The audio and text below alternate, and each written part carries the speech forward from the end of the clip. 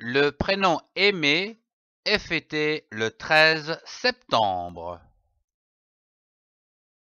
Dynamiques et à l'aise dans le monde et la société, ils avancent dans la vie sans histoire.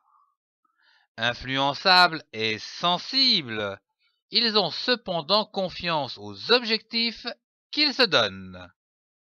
Ouverts sur le monde, ils sont volontaires et très sociables. Ils savent se dévouer pour une cause.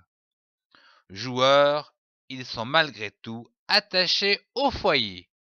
Sa couleur est le vert.